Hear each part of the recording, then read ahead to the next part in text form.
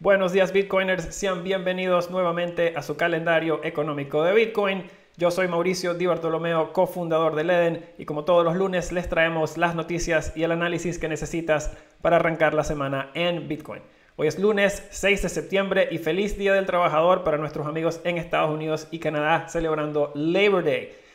Como todos los lunes tenemos un episodio bastante cargado. Esta semana vamos a empezar hablando de Bitcoin convirtiéndose en moneda de curso legal en El Salvador. Eso ocurre oficialmente esta semana. Vamos a estar hablando del evento y de qué podemos, qué podemos esperar para Bitcoin esta semana. Igualmente vamos a estar mirando a los salarios y viendo si los salarios en Estados Unidos están subiendo a la par con la inflación. Por último, vamos a mirar el cierre semanal de Ethereum, quien tuvo el cierre semanal más alto en su historia este domingo. Así que esto y mucho más, cafés en mano hermanos, que va a estar muy bueno el de hoy.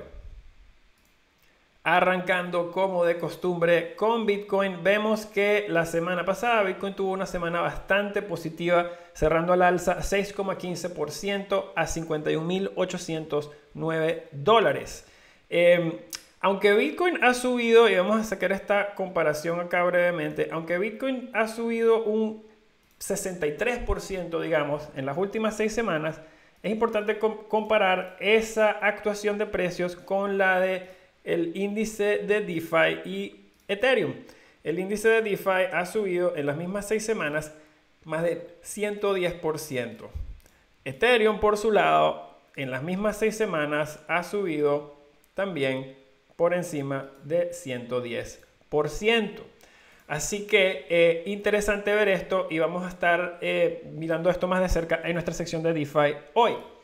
Em, los ojos del mundo, la atención del mundo de las finanzas y de la industria de Bitcoin esta semana está enfocada en El Salvador, ya que la ley de Bitcoin entra en efecto esta semana gracias a este evento van a haber muchísimos titulares muy probablemente en las noticias. Uno de estos es el que tienen en sus pantallas de The Economist hablando de, eh, del evento que ocurre esta semana en El Salvador. Muchos participantes de nuestra industria como Alex Gladstein y Peter McCormack, entre otros, están en El Salvador para documentar este histórico evento esta semana. Aunque ha habido un gran enfoque en cómo los eh, comerciantes pequeños en El Salvador van a usar Bitcoin para aceptar pagos de extranjeros, hay otra dinámica muy interesante que está ocurriendo gracias a esta ley. Y eso es que compañías grandes como Coca-Cola, como Pepsi y como McDonald's ahora tienen que aceptar Bitcoin oficialmente en El Salvador. Esto puede llevar a algunas de ellas a discutir si tiene sentido dejar un poco de Bitcoin en su hoja de balance o en su balance sheet. Tenemos unos días muy fascinantes a continuación o meses. Em, a pesar del optimismo bastante claro en algunos campamentos de la industria y de gente dentro del mismo Salvador, existen ciertos segmentos de la población del Salvador quienes creen que van a haber eh, dificultades, digamos, con esta implementación de esta ley. Y eso lo pueden ver reflejado en algunos de estos artículos y unas eh, series eh, de, pequeñas protestas que hemos visto en, El Salvador. Muchas de estas, según lo que nos recuentan las personas que están allá, pues vienen de personas que están más que todo en contra del presidente como tal, más allá de la ley en específico. Eh, ahora, ¿Cómo impacta esta ley a los ciudadanos del Salvador? En práctica, pues obviamente va a ser definida por, por muchos de los eh, eventos que ocurran una vez que se active. Sin embargo, nosotros, al igual que muchos otros, creemos que esta ley tiene el potencial de cambiar las vidas de las personas del Salvador para lo mejor o para eh, lo bueno. Le deseamos la mejor de las suertes a toda la gente del Salvador en esta semana histórica para ellos y para Latinoamérica en general. Em, desde el punto de vista de precios, la atención mediática alrededor de este evento muy probablemente eh, creará presión de compra y dado a los eventos que estamos viendo en el ambiente macro, el riesgo esta semana pudiese estar en el precio hacia el alza. Saliéndonos un segundo de Salvador y volviendo al mundo institucional de Bitcoin, eh, la semana pasada vimos que hubo otro inversionista institucional bastante grande que indicó que estaba ahora entrando a Bitcoin. Y el anuncio vino, según el artículo que tienen en sus pantallas, de US Global. US Global es eh, un inversionista en commodities y oro con bastante renombre que tiene 4.600 millones de activos bajo manejo. La firma invirtió eh, aproximadamente un poco más de 500 mil dólares o 20 puntos base de los fondos totales del el fondo en GBTC. Y por último, ya vimos El Salvador, ya vimos inversionistas institucionales, ahora vamos a ver qué nos dicen los datos de la cadena de Bitcoin. Y eh, podemos ver que eh, esta gráfica o esta data que fue compartida por Willy Wu nos pareció bastante interesante y la queríamos compartir. Willy Wu, eh, de nuevo un analista de, actividad de cadena de Bitcoin, eh, compartió que el, modelando el precio de Bitcoin según las monedas líquidas y las monedas ilíquidas, podemos eh, tener, obtener pistas de dónde puede estar dirigiéndose el precio. Según la gráfica que Willy muestra, o como muestra la, gráfica que, compartió Willy, la, la, línea con puntitos, que es básicamente el modelo de precio en base a monedas líquidas e ilíquidas, muestra que el precio tiende a seguir el comportamiento de estas monedas, de la proporción entre monedas líquidas e ilíquidas. Y como se puede ver también, las monedas ilíquidas continúan acumulando, lo cual señala que el precio puede estar por subir. Eh, así que vamos a estar eh, compartiendo un poquito más de qué podemos ver en los mercados de Bitcoin en nuestra sección de qué tenemos por delante. Pasando a nuestro análisis del SP500, vemos que los mercados capitales continúan su ascenso. Eh, ambos, el SP500 y el Nasdaq, la semana pasada alcanzaron nuevos máximos históricos. El SP500 cerró arriba 53 puntos base a 4.535 puntos. El Nasdaq, por su lado, subió 2,26% la semana pasada, 15.432 puntos.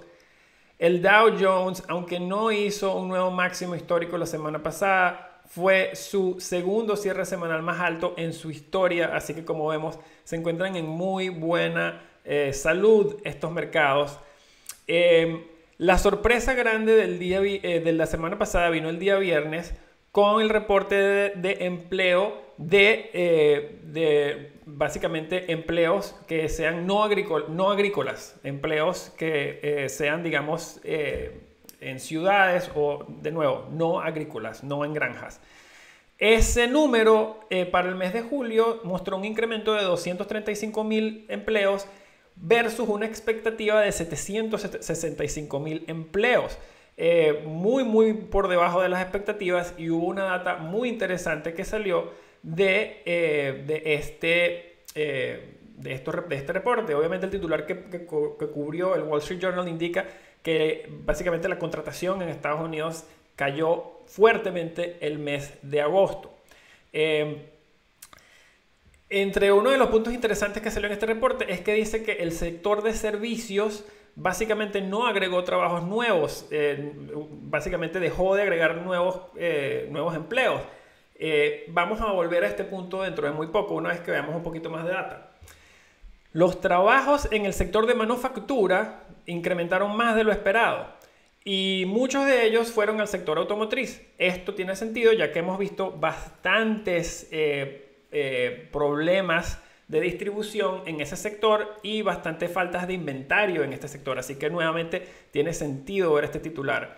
Entre los otros titulares que estamos viendo, eh, interesantes que indican algo similar, es que el que tienen en sus pantallas quiere decir que eh, Walmart básicamente le incrementó el salario a sus empleados por un monto de un dólar y llevando el promedio salario, el salario promedio a 16,40 dólares. Esto indica o representa un aumento de aproximadamente el 6% en los salarios de Walmart. Adicionalmente, en el reporte vimos que las ganancias por hora promedio en los Estados Unidos incrementaron por 0.6% mes a mes. Esto quiere decir que están incrementando a 7,2% de un punto de vista anualizado. Ese, ese aumento del 7,2% es más alto que la tasa de inflación, la cual hemos visto que está entre el 4 y 5%, dependiendo si vemos el PCE o el CPI. Em, como pueden ver, según el titular de Walmart, eh, Walmart, solo Walmart, está subiendo el salario eh, básicamente el 6%. Esto señala lo que está viendo Walmart en el mercado y esto de hecho es muy bueno para la economía americana, el, el hecho de que los salarios estén manteniendo el ritmo con la inflación. Esta semana también vemos eh, nuevamente cuántas em, oportunidades de empleo hay en los Estados Unidos. la expectativa es que van a haber 10,1 millones de oportunidades de empleo. Recordemos que en Estados Unidos solo hay aproximadamente 8,6 millones de personas buscando empleo, queriendo decir que hay un delta bastante grande entre las personas o los empleos que hay que llenar y las personas buscando trabajo. Esto nos trae de nuevo al punto que estuvimos haciendo al principio del sector de servicios. Hay una tesis que dice que los, eh, que los trabajos no están creciendo la velocidad que tienen que crecer porque los empleadores y los empleados están básicamente chocando en el término de la compensación. El resultado acá lo más probablemente es que los empleadores van a tener que pagar salarios más altos y esto eventualmente debería llevar a que haya inflación en los precios de comidas en restaurantes en los meses a continuación. Así que bueno, mucho más que cubrir, estaremos hablando un poquito más de macro en nuestra sección de que tenemos por delante esta semana. Mirando los precios del oro, vemos que el oro tuvo una semana buena la semana pasada, arriba 53 puntos base a 1.826 dólares por onza. Eh, quizás no, eh, algo que no nos sorprende es que la ganancia del oro básicamente vino toda el día viernes, luego del reporte de empleos no agrícolas, que salió absolutamente fatal. Em, y eso básicamente ayudó a que el oro subiera 94 puntos base el día viernes, lo cual le dio toda la ganancia de la semana, que cerró la semana 53 puntos base arriba. Hay ciertos factores que están jugando a favor del oro. Eh, por uno, el, el, ambiente macro, como hemos visto, es favorable ya que está indicando la Fed que va a dejar que la inflación corra un poquito más. Desde el punto de vista técnico vemos que estas líneas de tendencia que estábamos mirando desde agosto del 2020 han pasado de ser resistencia a ser soporte, como podemos ver en la gráfica. Eso también es bastante bueno.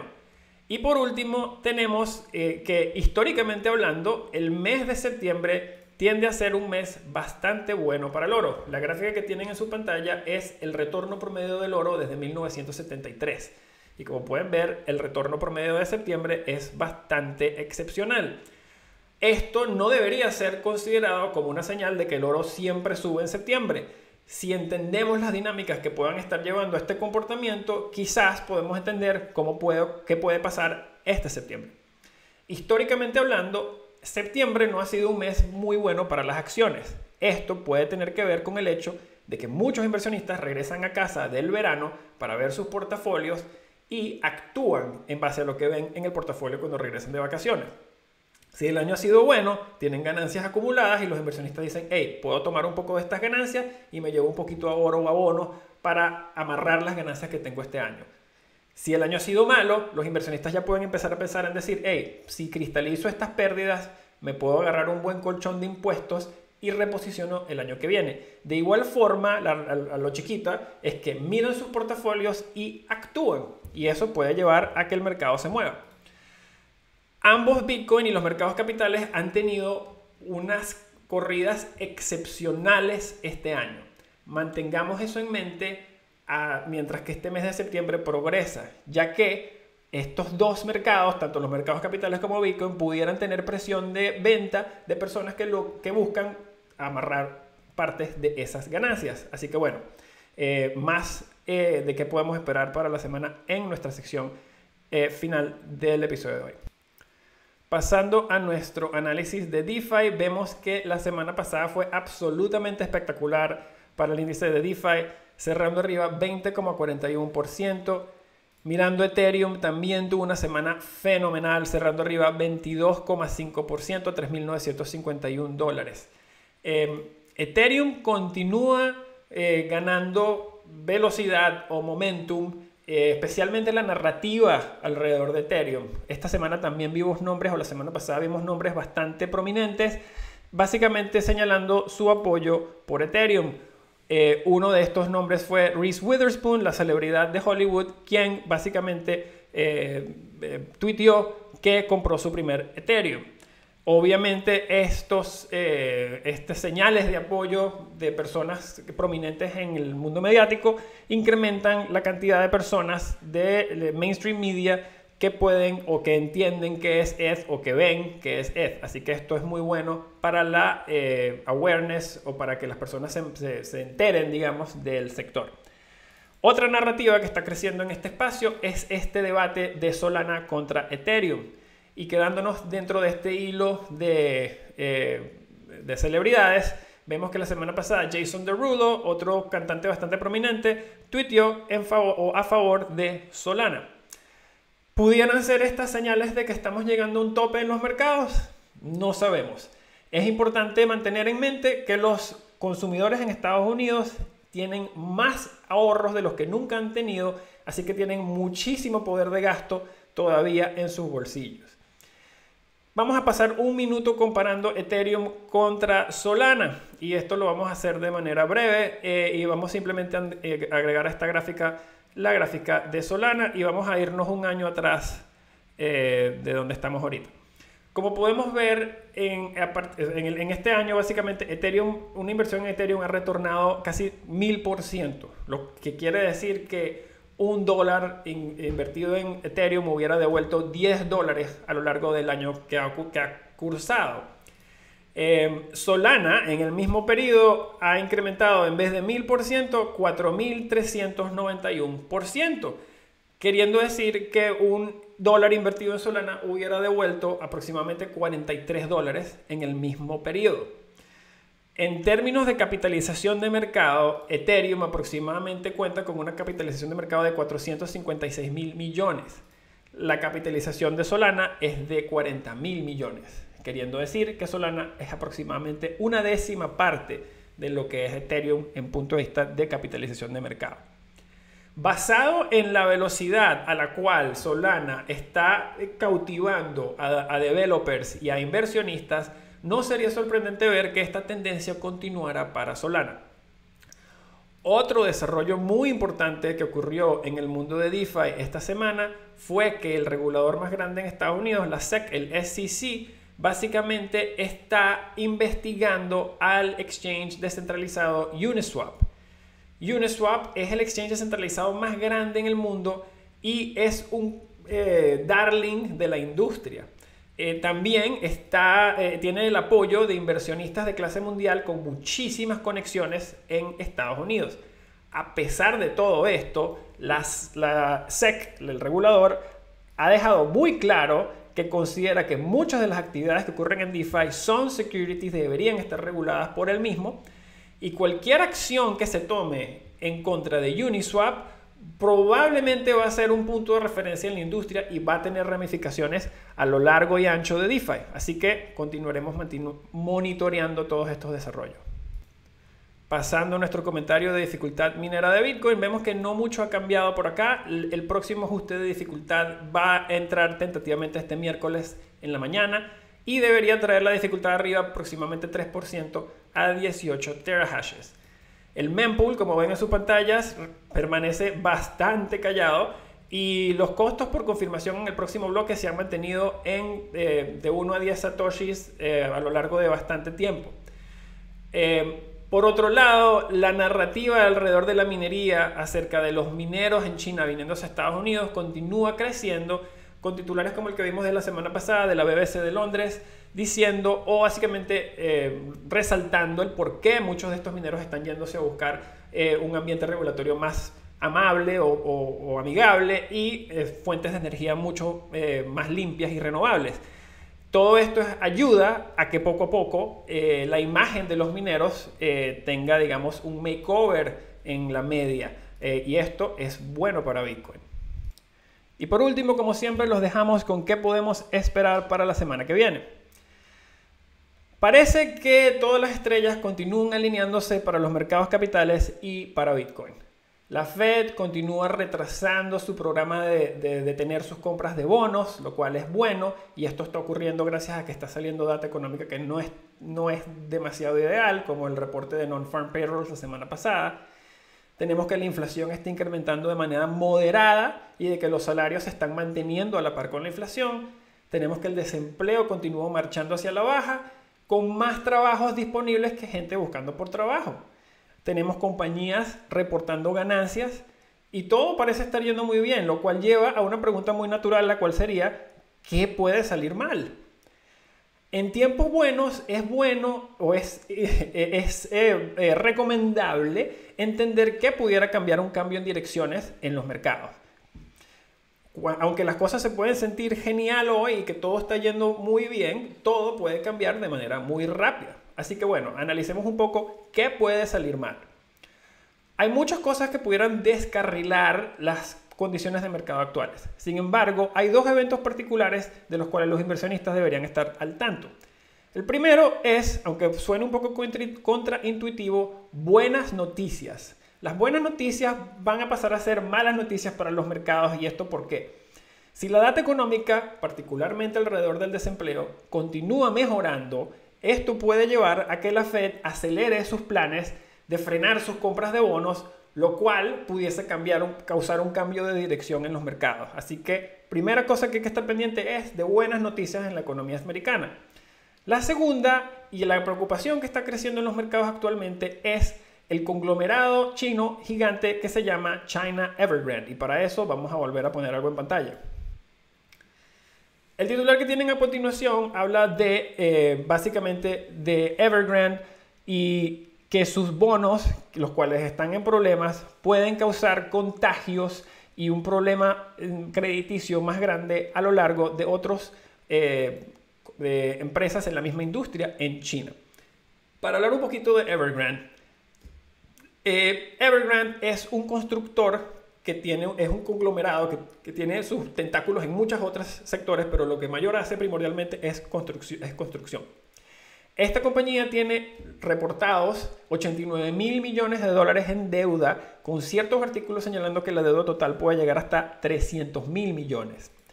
La compañía tiene proyectos en más de 200 ciudades y está bajo muchísima presión de Beijing y de muchos otros reguladores para reducir la cantidad de deuda que tiene. Actualmente está tratando de vender sus activos incluyendo una compañía de vehículos eléctricos que tiene, la cual ha invertido muchísimo dinero y esta compañía nunca ha producido ningún vehículo ni ningún producto comercial. Interesante. Si China Evergrande se va a la bancarrota, esto pudiese causar un contagio alrededor de otros eh, constructores en China. La situación de Evergrande está siendo monitoreada muy de cerca por, los, por el mercado de los bonos y nosotros también la vamos a continuar monitoreando y darles los, los detalles o novedades que sean necesarias o pertinentes. Como siempre, cerramos el episodio con un repaso de toda la data económica que podemos esperar para la semana en curso. Hoy día lunes es día feriado en Estados Unidos y Canadá, así que no tenemos actividad económica ni de mercados. Esta semana, el miércoles a las 10 de la mañana, sale eh, reporte de desempleo en los Estados Unidos. Según lo que acordemos, eh, según lo que dijimos, recuerdemos que la Fed está mirando muy de cerca el desempleo. Y el mismo día miércoles, después de que cierre el mercado, reporta ganancias GameStop, la, acción meme que se ha convertido, digamos, en una sensación en Estados Unidos. El día jueves a las 8 y media de la mañana también tenemos otro reporte de eh, beneficios para desempleo a las 8 y media de la mañana en Estados Unidos. Y a las 10 y media de la mañana el jueves, la SEC, el regulador de Estados Unidos, tiene una discusión en panel de reimaginar las protecciones a los inversionistas en el mundo digital. Muy probablemente van a hablar de cripto en este panel y así que esto puede, pudiera mover los mercados el día jueves para cripto.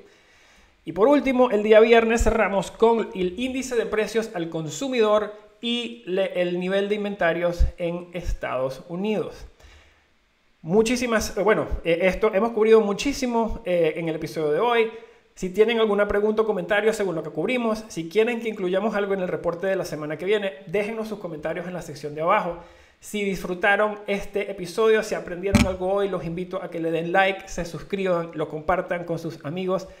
Si todavía no tienen una cuenta en Leden, los invito a que revisen leden.io y aprendan cómo pueden empezar a ganar hasta 9% en sus USDC y hasta 6,1% en sus primeros dos Bitcoin. También tenemos las mejores tasas en créditos en dólares respaldados por Bitcoin si quieres o necesitas dólares y no quieres vender tu stack. Muchísimas gracias a todos, los quiero muchísimo, cuídense mucho y nos vemos la semana que viene.